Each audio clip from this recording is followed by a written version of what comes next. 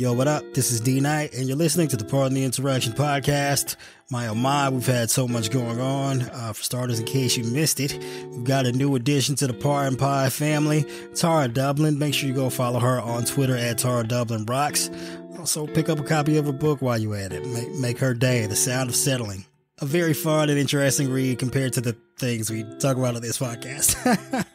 But yeah, we're heading toward the do or die time for the 2024 election. Go ahead and hit up joebiden.com. Get that man like a dollar a month or something. Help his campaign staff up and get prepared to try and save our democracy. And make sure to grab like one other person you know and tell them about the podcast. Make sure they subscribe and tune in every single week. We got a lot of things coming up for you this year. We need all the support that we can get. So if you do your part and help us grow our audience, we'll do our part and help elect Joe Biden in 2024 and save America. American democracy. And this is the Pardon the Insurrection podcast.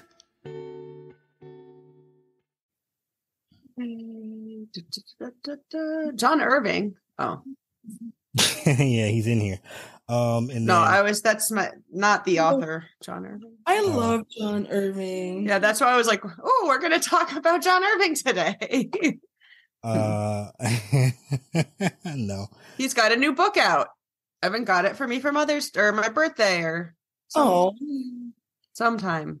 That's I'm very sweet. To, someday I'll read it because I can read still.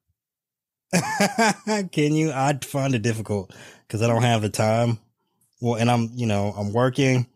I got personal shit. Yeah. Um, uh, Twitter. I do that all day. Um, and you know, these I try and figure out what the fuck we're gonna do on the podcast every week which is it's not difficult it, other than the fact that so much news breaks that like I'll have things in mind, but the closer we get to the day of whenever we record, whatever day that happens to be, more right. news breaks. And then I'm like, all right, we'll bump that thing, insert new, I new, yeah. So I, and I kind of have to wait until we're almost ready to record it. And then editing this thing is, it's not, super time consuming, but it does take. I mean, it's basically minute for minute. I have to I listen to the whole thing as I edit it. Sure, surely you have enough fans on Twitter that you could, you know, tell them get someone to edit it for free for the privilege of getting to hear all of the. Nah, I wouldn't do that. Um, I, and I, I mean, I I like editing it. It's not okay. it's not a chore. I I actually enjoy it. Yeah. Anyway, Ooh we got to do this real quick. Um, so a, a, really quick fuck Mary kill Donald Trump, Rudy uh, Giuliani, uh, ah! Stewart Rhodes. Go. Uh, uh, uh, okay. I'm gonna marry Stewart Rhodes because he's gonna be in prison and I won't have to fuck him. uh shit. I mean, having heard what I heard about Rudy and the and the Viagra. I'm gonna I'm gonna kill him and I guess fuck Trump because it'll only last like a second. Ah! and maybe I don't even know who you are anymore. Which one would you? I mean, I think okay. you had the right idea, I'm Carol. Fuck Stewart because that's your that's your no, friend's no, no, ex. That's fucked I'm, up. I, I'm from El Paso, man. We're all Eskimo sisters oh, here. Oh, yeah, you're right. Okay. You're absolutely so, correct there. I'm going to fuck Stewart. I am going to kill Trump and I'm going to marry Giuliani because I can get him really, really drunk. And I have some experience with getting them to go to sleep. Okay. I'm going to marry Trump so I can divorce him and take half of the money that he got from the Saudis. Um, I'm going to kill Rudy Giuliani because no one should ever touch that. And I'm going to fuck Stewart Rhodes because I can just stick it in his eye socket. This is the worst fuck Mary kill ever. Uh... One, two, three, four. Hey, this is D Knight. This is Carol. This is Ty. You're listening to the Pardon the Insurrection podcast, the podcast that confuses Republicans because they think we intend that to be literal. No, it is intended to be irony, and you motherfuckers are crazy. Wait, so we have some Republican fans? I got a pee. Is it Ben Shapiro? It's Ben Shapiro, isn't it? Uh, I'm pretty sure Ben Shapiro would hate this podcast mostly because there's black people and women on it. Mhm. You know, two things that he's probably not fond of, and you know, less. Well, I'm sure his wife is is very fond of black people and, and possibly women. Well, that might be why she married him. I don't know. But I yes. Um I didn't have follow up material on Ben Shapiro. Dry Oh, no. pussies. Uh, Uh, Have you noticed there's a lot of small dick energy going around in the Republican Party right now? yeah. Yeah. I also like seeing them just like fighting against each other. Like, was it like Laura Loomer hanging out with like far left protesters because um they also I don't know and she- w- they also uh don't like DeSantis and she's trying to sabotage DeSantis, thinking anyone takes her seriously enough to like. Anyway, though I, mean, did see her interviewing some blacks for Trump, and their reasons Oh. seem to be mostly uh Well, I always love when the Republican Party is imploding, and I'm sure that will just be quickly escalated uh, come the 2024 GOP primary. Anyway, uh, let's get to the crazy ass insanity of the news cycle here since we last were with you, listeners. First off, Bill Gates was being blackmailed by Jeffrey Epstein. That was fucking bonkers. Uh, read up on that story. Just just go ahead and get out the old fashioned Google machine, pull that up. Uh, E. Jean Carroll is seeking even more money in damages from Trump's continuing defamation of her, which was um, fuck totally around and find out. that was totally expected. You know, you lose a defamation suit. you and say- immediately- Did you say tuck around? no, Oh, because I don't No. know. It made me think of tucker call. around. Uh, Tuck around and find no. out. That's. I'm sorry. Okay. Tucking is banned on this podcast, just like Fox News. Um, yeah, it's insane that he like lost a defamation suit and like hours later was on TV repeating the same things that cost him five million dollars. That is the definite. Isn't that you know he's following the literal definition of insanity, Yeah. Oh. Yes. the same thing multiple times and expecting different results. That's not really the definition, but Yeah, I don't think he was expecting different results. I think he just Yeah, continues to do the he same doesn't have the wherewithal to. Uh, I don't know. I mean, I hope, you know, the extra five, ten, fifteen million dollars he's about to lose was worth it. Uh, it wasn't worth it to CNN. Their ratings are worse than Newsmax at this point. Good. Because they're never going to bring over far left people. I mean, far Uh, right people. Yeah, well, they're not going to bring over far left people at this point since they're Well, making. yeah, th- that's why I was saying, like, they to- were never going to attract that audience. They, they will never have credibility with a conservative audience, and not They're and not with a to nobody. Like the to, you know, like they're literally pandering to. Yeah, no one, no one is looking for what they're selling. Uh, the Manhattan DA, Alvin Bragg, is weighing new criminal charges against Trump CFO Allen Weisselberg. They might send his ass back to prison if he doesn't fucking agree to cooperate. I mean, they should have just sent his ass to prison for longer than six months in the first place. Jack Hmm. Teixeira is being held in pretrial detention in his espionage case. You can pull up the Google machine, ask for reasons to why that is the case. He's a danger to society, apparently. Gun fetishist, uh, future mass shooter, if not for going to prison for the next 20 years. The Supreme Court, they took on the powers of the legislative branch, apparently, because they want to do twice the work for half the pay. Well, I mean, I guess twice the work for millions of dollars in pay under the table by right wing billionaires, uh, by gutting the Clean Water Act for reasons. Uh, that was insane. what I- reasons? Oh, Yeah, just reasons, vibes, you know. Just vibes. Yeah, they're just Wow. just just on on vibes. Uh apparently when Trump was president, his Department of Justice investigated the Clinton Foundation until literally the final days of his administration. So years and oh, years. gee, and we're and the um, I'm sure those arrests are imminent, right? because they It's funny you say that, Carol, because they came up with nothing. As they always do. I just Also- can't wait to hear how they justify. You know how they're like, well, the but like it was Biden's administration. Uh, look over there, Hunter Biden's laptop did it. I mean, it's it's wild Uh. because John Durham wrote that entire report saying the Russia the implications of the Durham report is that it's stupid. But what he was trying to say about the Russia investigation and its predication was that it should have been based on more solid evidence. Well, there was absolutely no evidence whatsoever to have opened an investigation into the Clinton Foundation. So the irony. Leaked text messages link Ron DeSantis with Lev Parnas, who was indicted for funneling Russian money into GOP political campaigns. Yeah, that's a, that's a doozy. Wonder how his campaign will face investigative scrutiny in the future. Fani Willis has narrowed the time frame for indicting Trump to mid-August. Oh. Yep. Mark your calendars, kids. I don't have much going on in August, so you know that much in advance, Carol? I mean, If it's what you say, I love it, especially late in the summer. My July looks very busy, honestly. So I do.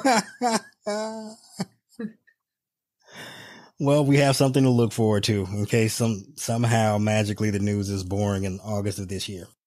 Stewart Rhodes receives an 18 year prison sentence after being found guilty of seditious conspiracy. Consequences. Uh, not long enough, not nearly long enough, considering, I mean, you know, how often, first of all, do we have guilt, uh, seditious conspiracy guilty verdicts? And then just considering the nature of that fucking crime, I, I would say second only to treason, uh, betraying the country in a time of war. And to only get 18 years, it, it feels, I mean, I won't say it's a slap on the wrist because that's a lot of fucking time. He's probably going to die in jail. Thank God. But, uh, we could have went with 25. It wouldn't have hurt. Yeah, but what would you say about like he's not the top of the conspiracy? What what if he's getting 18 years, what would the guy on the top of the conspiracy be getting? That's a good point. I hope he gets forever. I mean, whatever he gets will be a life sentence for him. well, considering he's in his late 70s, I'm fairly sure any prison sentence of any amount of time will be a, uh, a life sentence for him. You're, you're correct in that. Oh, Um, that's what I meant.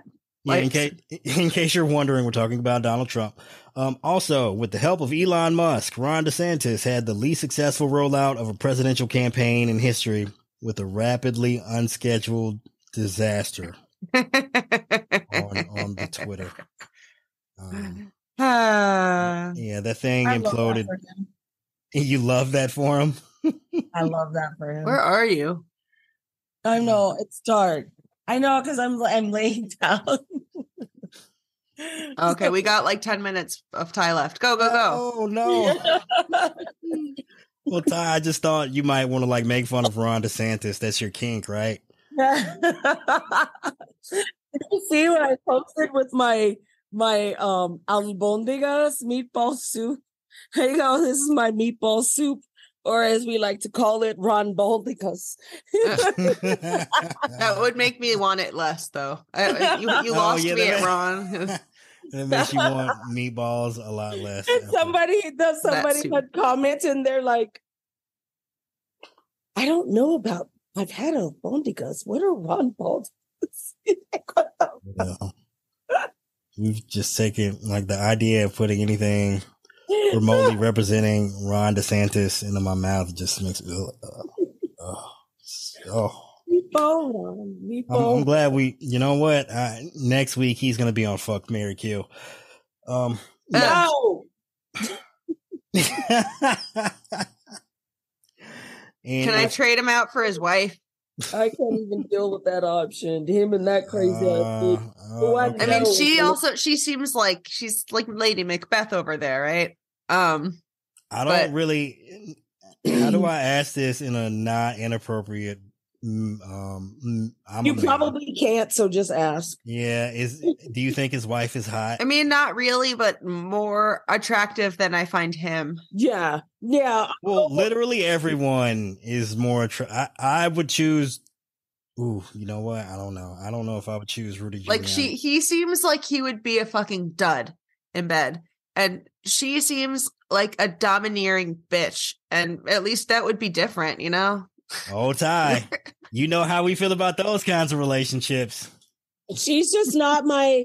She's just not my type. But I also I know that there's something seriously fucking wrong with her. Both of them. I'm pretty sure. she killed somebody at some time, and covered up. She's evil. Look at her. They're made for each other.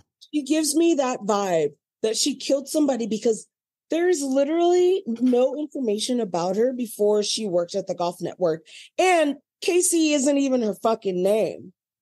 So Is she just Russian?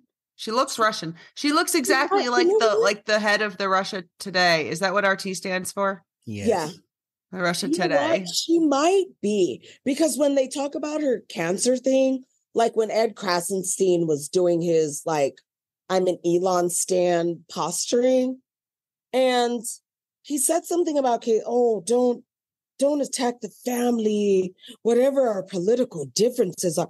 Oh God, he drives me fucking nuts with that. But I'm like, just- you know what?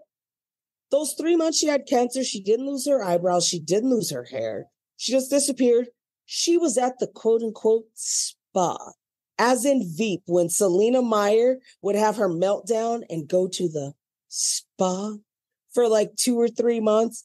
I'm pretty sure that's where Casey is. And when we don't see her, I think that's where she is at the spa. We can't really see you with the air quotes, but I can Oh, sense I'm that you're sorry. doing them. I was doing, yeah, I was doing Yeah, it. wherever Ty is, it's, are ex- you? it's extremely those are dark. There's like no light. bunny ears and I saw some waving around. Yeah, and she's like holding up her fingers doing the the the quotes thing, but it's difficult to make out. it's dark, Um, and they're not. I mean, I don't necessarily joke. doubt that she had cancer, but yeah, there are like cryo caps that I read about. You could put them on and they keep your head really cold while you get chemo. Um, so supposedly it won't you won't lose your hair or lose less hair because it I, I don't know. I forget. Really? Yeah, Keeps I had it no from- insight in, into that. Um, yeah, she's a very strange individual. Um, they're both very strange. It's very weird. They got married at Disney World, and now like Ron DeSantis is single handedly trying to destroy Disney and is losing. He probably got in a fight with someone at the wedding and was like, "You'll see, you'll all see." one day, one day, you're all gonna see. Yeah. like oh man, uh, you know, look, not that I kink shame, but like if there were ever, if there was ever a cuck couple, um, they'd be number two, uh, right behind um Ben Shapiro. Uh, anyway, moving on. Uh, just as you can tell, it's been a wild week, wacky news cycle. Like yeah, and we skipped last week so because of me and my actions. I didn't continue. skip last week. I was there for you guys, but I let the girls have the week off because they fucking earned it. They deserve it. Uh, they do too oh, much. thank you for letting me have the week off. I hope you don't cut my pay. well, Carol, I have to be honest with you. Like, if I were to cut your pay uh, any further than it already I owe you is, money. You, be yes. like, what's less than zero, Carol? Um, not that you're not worth all the money in the world. I just don't have any. Um, when or- people go below zero on Jeopardy, do they have to pay back the? Oh my I God, still that is a wonder good- that. It's like- that is a good question. I'm sure they don't, but like, Oh, okay. On that note, Carol, so no. when Ben when Ben Best was, was still alive and we were working on things, so I had an idea for a screenplay because I always like wonder when people go on like Family Feud and that person, that one person in the family that gives like the stupidest fucking answers and loses it for everybody. Like, what's their life like when they go back home? like the guy that fucking ruined it. Like my mom and my aunt and my cousins, they actually auditioned for Family Feud. It's Steve Harvey came to Charlotte. And it was some question that was so mundane. And my cousin Anthony answered something. And they literally all looked at him like, what the fuck? Like, did you just say they cut that part out? But I always think, I go, who, what happens to that guy when he goes back to his small town that he fucked up um family feud like he fucked up his family like winning and so it was just like this my name is earl type of comedy that i wrote of this guy like going back home and having to like people are like throwing can loser like every time he goes somewhere or whatever so that was just sidebar That was one of my creative. oh, you thought way farther into Jeopardy and the and Family Feud than I did. That's me as a writer. I think it's like, oh, what does that guy have to deal with when he goes home? It's like I know it's probably too much in-depth thought, but that's that's where we are. That's where I am. On to Rudy Giuliani. Uh, we didn't get to cover this last week because I was saving this for you two.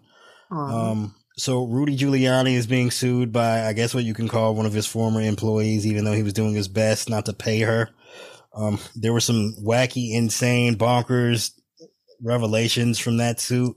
We'll go down a list of a number of them, starting with the fact that I believe her na- name is Miss, is it Duffy? She's, she Yeah, revealed, yeah, she revealed in, in her civil suit against Giuliani that Trump and Giuliani had partnered together to sell $2 million pardons, splitting it 50 50 with Trump. Uh, yeah, we forgot about that quick. That got erased from the, from the news headlines, uh, very quickly. Uh, which is also ironic because I feel like the Department of Justice was investigating a pay for pardon scheme, uh, in 2021. You know, again, um, a number of individuals in and outside of the government were, were asking Trump for pardons on his way out. Um, and this seems to back that up. Yikes. I like where this is going. Um, she also has information, uh, suggesting that they, that Rudy Giuliani in advance of the 2020 election had already, had already planned that if Trump were to lose, that they would claim there was massive voter fraud. So, I mean, that's exactly what happened. Trump lost and they immediately claimed massive voter fraud. It's like a, I don't know, a conspiracy or something. He also forced, uh, this is where it gets kind of gross, warning you in advance. Trigger warning, sexual assault. All right. If, if you, yeah, if you haven't cut the podcast off yet, here we go. It, it, it gets very disturbing at this point. Um, he forced Miss Duffy into performing oral sex and intercourse. Oh, Yeah, you know, that is so gross. And I like old men, but that this is just too much. uh, like former president, like lawyer. you like old man, but that's too much. way to, way to take something so dark and, and twist it into something funny. Uh, that, that, I, I, I hate to laugh because Oh, sexual she's so gross. I- Sorry, I'm just reading. I'm still reading it. yeah. Uh, he he also demanded oral sex while on the phone from Miss Duffy because he wanted to feel like Bill Clinton. oh, Ugh. Uh, well, first of all, Yeah. if you want to feel like Bill Clinton, you could like at least I don't know, try and be charming, and then you know have the blowjobs be consensual Yeah. and not like demand your employee do it or, at, you know, at the threat of being fired. I I I, don't know. Uh, not not look. Not that he doesn't have his other accusations of non-consent. Anyway. No, that yeah. Look, I I- look. We the, the podcast is not long enough for that. Um, Yeah. Blowjobs should be consensual, and so should sex. And if you're someone's boss, you probably shouldn't be using your the authority of your role in that dynamic to coerce coerce sex. I mean, I feel like at that, that point, it's not even. It's just anyway. Um, he also role played with her during sexual activities, suggesting that she behave as though she were his Ew. daughter. Ew, ew, ew, ew, ew, ew, ew, ew, ew, ew, ew, ew. Yeah, that was that was pretty fucking creepy there. Um, yeah, you know, it's it's funny because of course, you know, the right the right wing is always accusing people of being pedophiles, and here's your former America's mayor wanting to role play with an employee that she was his daughter. I, I, I don't know if that means he wants to have sex with his daughter, but oh dear. Probably. There's a lot we can't. We don't have time to get into that either. Yeah, I don't want to get into the psychosexual analyzation of Rudy Giuliani's kinks And his Um, estranged daughter, who probably won't talk to him. Yeah. Uh, well, he did marry his cousin, so like it's not like you know banging his daughter would be far off. Uh, Carol, you're so sweet. grilled cheese. Oh So yeah, that grilled cheese. Grilled cheese in the mail. Yeah. All right, that's the inside. No one knows what we're talking about. Um, uh, he also, uh, it also appears uh, uh, that Giuliani had an anti-Semitic streak, saying that, um, Carol, I don't. He said that Jewish men have are are poorly endowed, which dick. I am gonna say I've never I've not found that to be true, but I've I have no insight into that one way or another. I had some really great fucking sex with my space laser, so I don't know what the hell. Oh yeah, Ty, I forgot uh, you. You love the the space laser community. Uh, exactly. Uh, they were so, blasting it all up in you, so I guess you know Julie Hardy must be totally mistaken that, accus- that accusation. He also. I, he also okay. He said Jewish people should get over Passover because it was like three thousand years ago. oh my god! We need to laugh at that. This is not funny. No, I'm. It's just funny to me because I'm picturing like his rambling incoherence and how he's just like, he's like the penguin from when it was Danny DeVito. Like, and also get over the Passover, like, bro, for real. like, what? What are we? What are we doing? The Passover. Get over the Passover because it only happened once, and Charlton Heston, you know what he did. Like, what the fuck? Is he Egyptian or something? Is uh, like well, you know, what? look, I I don't know how to go. I'm sure he's probably no. like secretly telling people black people should get over slavery too. So I, you know, True. I just, I mean, it, look, if if you have an entire race of people celebrating being freed from slavery, I don't think you should ever get over that. You should always anyway, I don't know what the fuck his problem is. That was some weird, crazy shit. Um, he also says that black and Hispanic men hit women because it's quote in their culture. Uh, that was pretty fucking gross, especially as if like white men don't hit women. I don't even understand the implication there. Exactly right. Like, do we not remember Brad fucking Parscale? Who fucking put hands on his wife and police tackled him down Florida style like him all hopped up on Budweiser, not Bud Light, because that beer's apparently gay, but the other one. Um, Corey Lewandowski too. Like he grabbed that reporter, and there was all that like scandal with him. Uh, I actually don't even remember that. okay, that's that's quite insane that there's been so many um, s- stories of domestic abuse that I can't really figure out who was who. Or Trump, who was alleged to have assaulted his wife. Uh, right. But yeah, there was a specific thing about Porter, and he shouldn't have gotten a security clearance because he had the domestic violence thing on his mm-hmm. record. And that was just like, that was one of the scandals we never got any answers on. I mean, it was just fucking wild. And then there, look, man, there's too much going on in the fucking Trump White House. Like, I can't remember it all. It was, uh, you, you listen to this podcast listen to shit we talk about every week. How is anyone supposed to keep up with all of this? It's, it's, it's bananas. Um, yeah. So after, beyond that, uh, apparently Rudy takes Viagra constantly. Uh, you know, he takes it like vitamins or something. His impotence is God's will. I look, that is one thing we should do. Like pass a national ban on Viagra to fuck with people in red states. That'll show him.